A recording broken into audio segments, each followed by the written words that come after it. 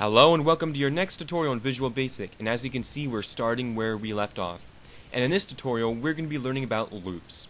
So as you can see everything's still the same, uh, this still looks the same. Okay so what are loops? Well basically, well what if you have a piece of code that you would like to have executed multiple times?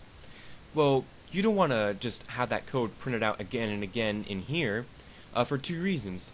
One, it's uh, more work for you and two, if you copy and paste the code again and again in here, then what will happen is the application, the file size will be larger and uh, eventually your application will run slower and the user won't like that and if worse comes to worse, they'll want they'll they're going to want a refund and well, that's not good.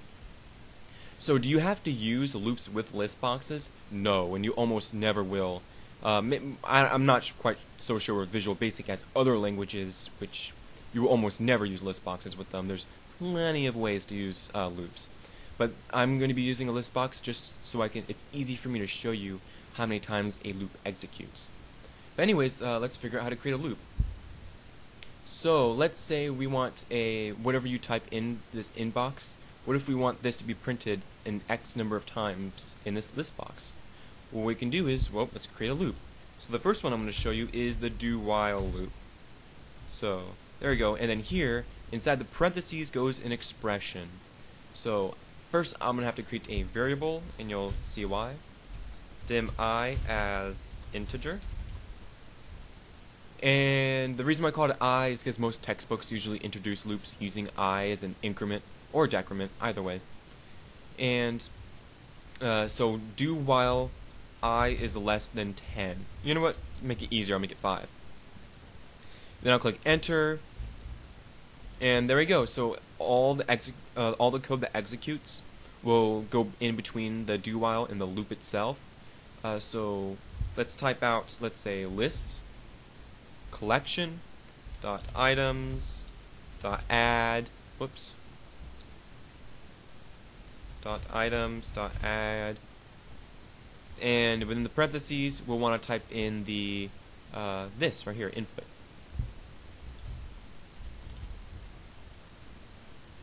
And there we go. So I'll click save and there we go. This should be oh one more thing. I should uh, almost forgot because that would have been bad. Uh, as you can see uh, I has not been initialized yet so we need to do that. The reason why you shouldn't initialize an increment like this uh, until you are inside the subroutine, and so it goes back to zero every time they click the button, and that's very important so that they can that they're able to start over every time they execute this piece of code. So I will be at zero, but won't it always be zero as it goes through here? That's true, and that is what's called an infinite loop, and basically your application will crash. So we will need to increment this variable.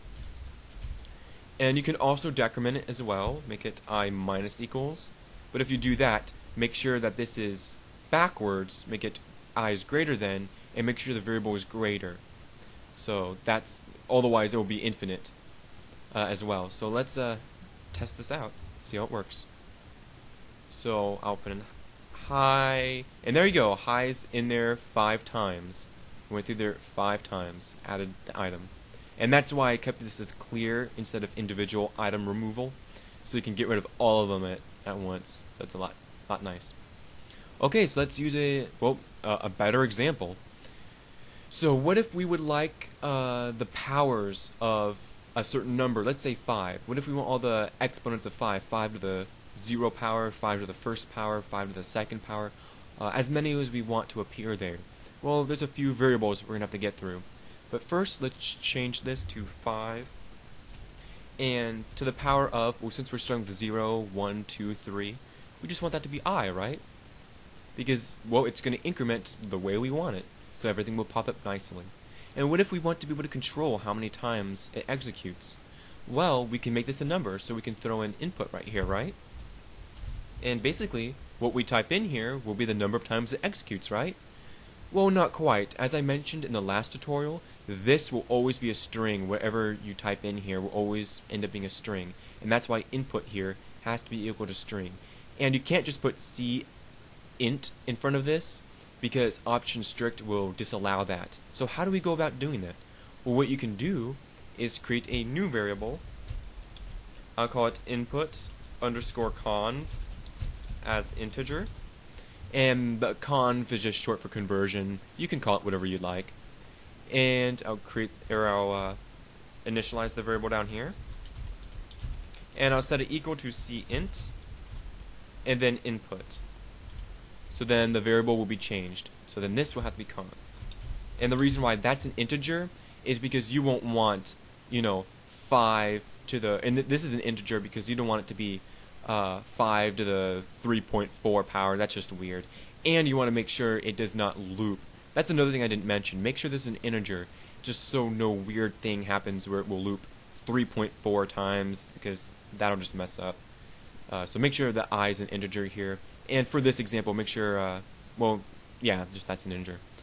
So I think everything there should work. So let's try executing this. So I'll click add and type in a string. How many times do you want it to go through? Let's have it go through three times. And there you go, went through three times. 5 to the 0 power, 5 to the first power, 5 to the second power. You can click, click add if you want it to go four times instead. So it goes all the way to 5 to the third power, and you can just remove all of it. So that's really, really nice. And yeah, that's just a, I guess that's a decent example to show you in a non-project video on, uh, on loops. So this was the first loop, and I would like to show you some other loops and some alternative forms. So the first one is the do while, and this example uh, was what's called a pre-test. And basically what that means is it tests the expression before executing code. So basically a pretest, which is how we wrote this here, uh, it will always evaluate the expression first before ever trying to execute this code. So what you can do is do what's called a post test.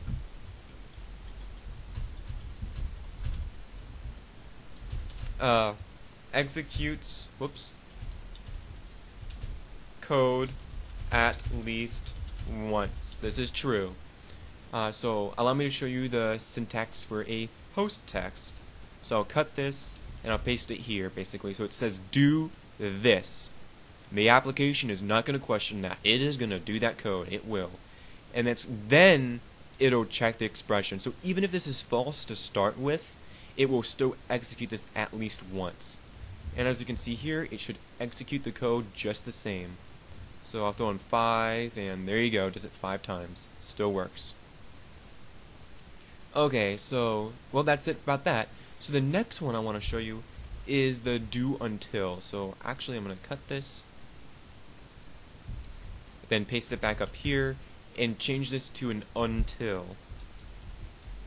And basically the difference between a do while and a do until is do while executes code while expression is true.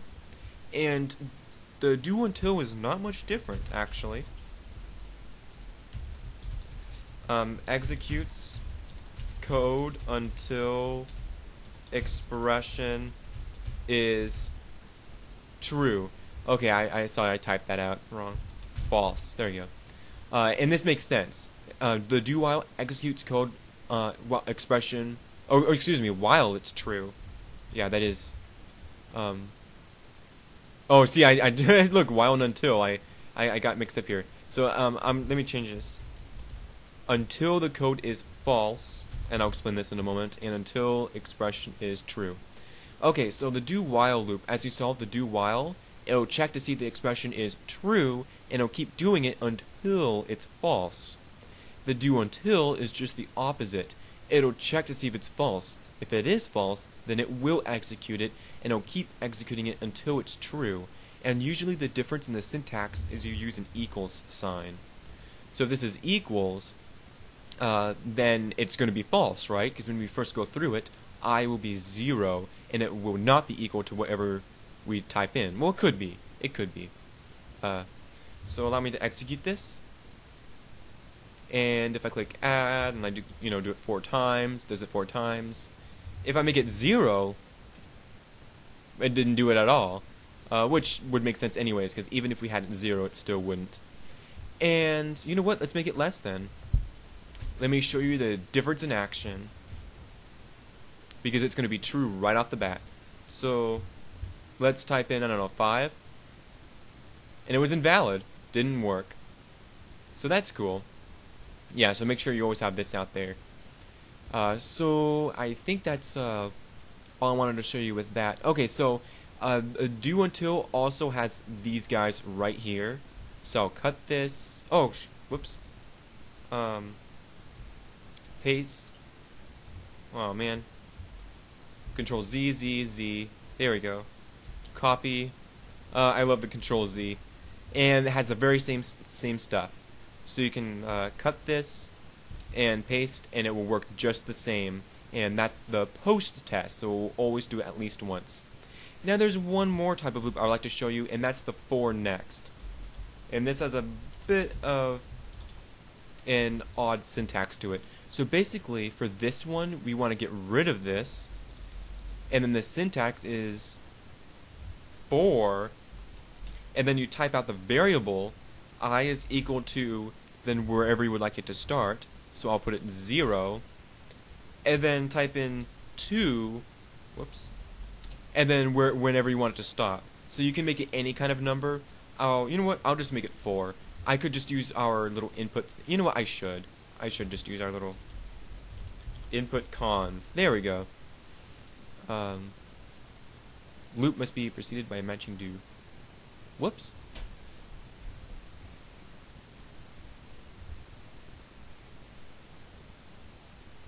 For oh well, that's the that's the little syntax. Um, the reason why it said loop, it was saying there was a problem with the loop here because it had to be a do up here. Uh, and then you don't put do there, you put next. And then what you do there is you type out the variable that you would like to have incremented. So if you type in i, it'll automatically increment the i for you. And what's our little error here?